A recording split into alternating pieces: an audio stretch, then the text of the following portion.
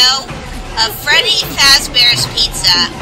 Now, I know that Freddy Fazbear's Pizza is for all children and it's really fun. It has all kinds of fun games and sing animatronics, but I got a sad truth for you.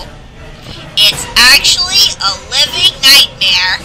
You see, um, um, uh, how to tell you this, but uh, there was originally gonna be a phone guy for this crossover video, but something bad happened to him, so uh, I'm kind of the substitute phone guy. well, anyway, um, the animatronics are come to life at night, and when they get to your office, they will try to jump scare you, catch you, and put you in a Freddy Fazbear suit, which will kill you instantly.